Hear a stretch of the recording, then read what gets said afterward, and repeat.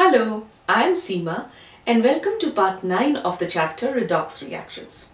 I'm going to make a brief video now to explain a solved example that has been given in your textbook. But before I come to that, let me just remind you that in part 8, I was telling you about the fractional oxidation numbers and the reason for fractional oxidation numbers.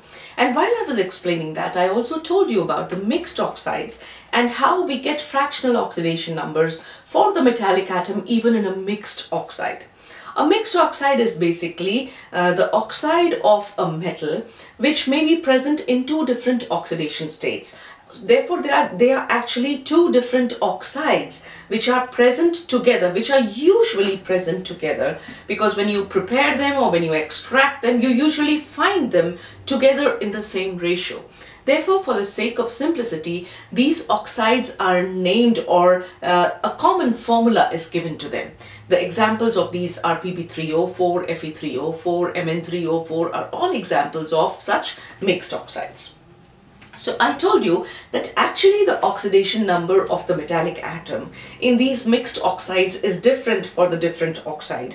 But since we take an average of the entire formula, we get a fractional oxidation number for the metal in the case of mixed oxides.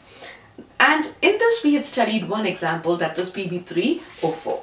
So this question is based on that mixed oxide. It says why do the following reactions proceed differently? Pb3O4 is a mixed oxide.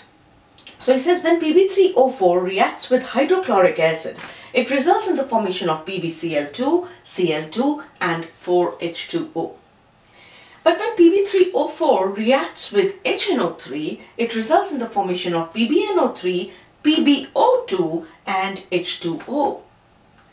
So we find that these two reactions, although both PB3, uh, PB3O4, both of them are reacting with acids, yet we do not see a common behavior in the reaction. And what is the reason for that, he asks you.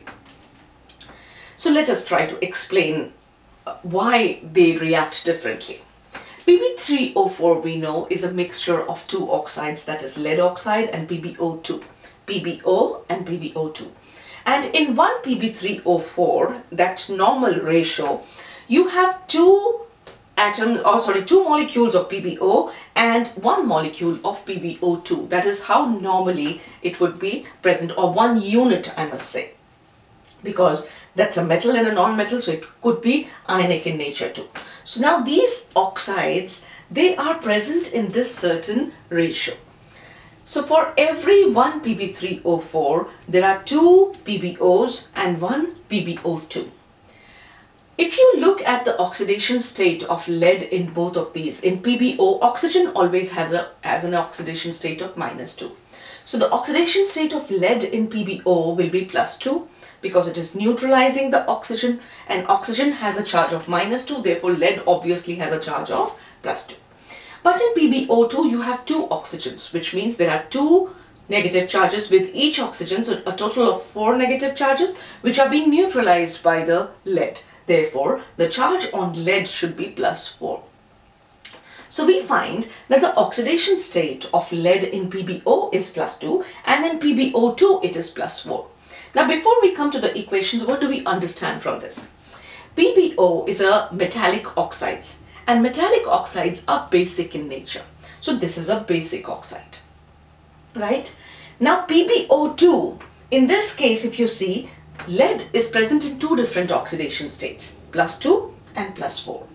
If plus 4 changes to plus 2 in the presence of an acid, what is it undergoing? It is undergoing reduction. So it, there is a possibility for lead which is in the plus 4 oxidation state to get reduced which means that PbO2 would act as an oxidizing agent. It would act as an oxidizing agent or an oxidant right? So we say PbO is a basic oxide and PbO2 is an oxidant. Understood this much? So it is just this difference which is responsible for the difference in the behaviors with these two acids. And there is a difference between these two acids also. HNO3 is also an oxidizing acid. It itself, nitric acid itself is oxidizing in nature or it gets reduced. Therefore, we find due to the difference between the properties of the acids also, there is a, uh, there is a difference in the way PbO3O4 reacts in these two, with these two acids. So let us take the first example. With HCl, Pb3O4 results in the formation of PbCl2, Cl2 and 4H2O. So let us split this reaction. Pb3O4 is made up of PbO and PbO2. So how do they react? The PbO, twice PbO reacts with 4HCl and results in the formation of PbCl2 plus H2O. When an acid reacts with a base, it results in the formation of a salt and water. This reaction is known as a neutralization reaction, an acid-base neutralization reaction. So since PbO is a basic oxide, it reacts with the acid HCl in an acid-base neutralization reaction, results in the formation of a salt that is PbCl2 and water is formed.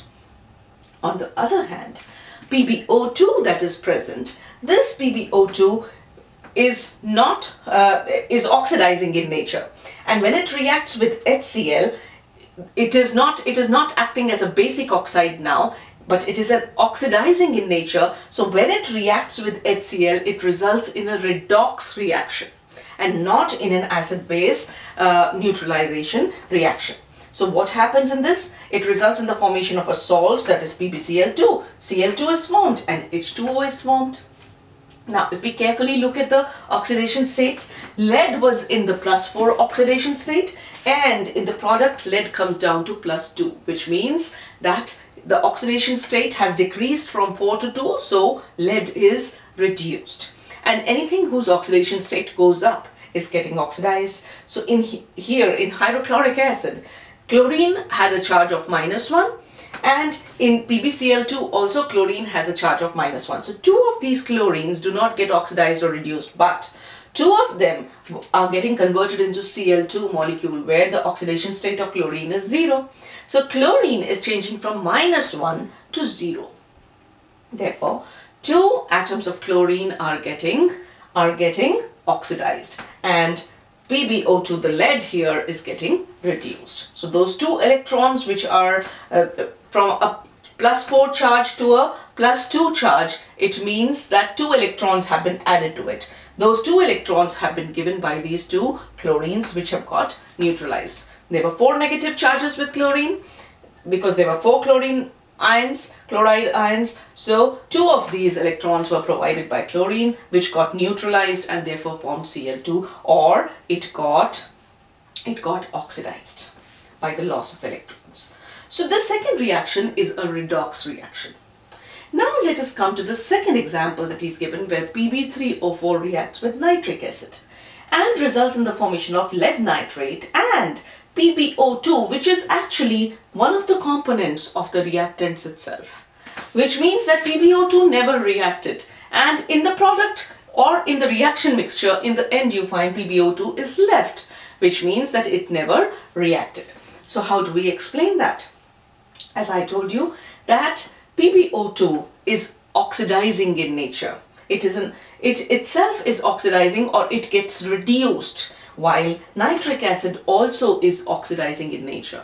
A redox reaction can only occur when one of the substances is oxidizing and the other is reducing. Here chlorine, the chloride ion was getting was getting oxidized and here for PbO2 to to convert to convert the nitric acid or to oxidize nitric acid nitric acid itself must get oxidized while lead gets reduced. And this does not happen because for lead to get reduced the other substance should get oxidized. But HNO3 itself is reduced is reduced and does not uh, oxidize or uh, rather it does not get oxidized and therefore both of these are oxidants and therefore they cannot show that reaction. That is PbO2, I'm not talking of PbO. But PbO is a basic oxide and HNO3 is an acid, so these two will react in an acid-base reaction or a neutralization reaction and whenever an acid reacts with a base it results in the formation of salt and water and that's what you get. So when lead oxide combines with HNO3 it results in the formation of PbNO3 which is the salt of lead and water is produced which is a neutralization reaction. So we find that HNO3 uh, reacts with PbO in an acid-base reaction and neutralizes the uh, basic oxide into lead nitrate and water is formed while HNO3 does not react with the oxidant PbO2 because it's itself is oxidizing in nature. It itself has a tendency to get reduced and therefore this reaction does not take place and when you look at the reaction you find that it is present in the product also which means that the reactant never reacted. So this was, I felt, was a question which was really important for you to understand how we have mixed oxides, how we have these fractional oxidation numbers, and why in a mixed oxide you may have reactions which may be different. So, and this reaction itself you can explain only if you knew that Pb3O4 was not a single compound, it was actually a mixture of compounds and uh, those compounds had different properties. Now in the next video I'll be starting the balancing of chemical equations of uh, rather redox reactions. So with this I'll wind up today's video. If you found it helpful give it a thumbs up, subscribe to my channel, recommend it to your friends and please keep returning for more videos in chemistry. You know when you give a thumbs up uh, it goes into the YouTube algorithm and it helps them also to know what to suggest to you and it helps me too. So please do give a like if you liked the video and please keep returning for more videos in chemistry. Thank you for watching and bye bye for now.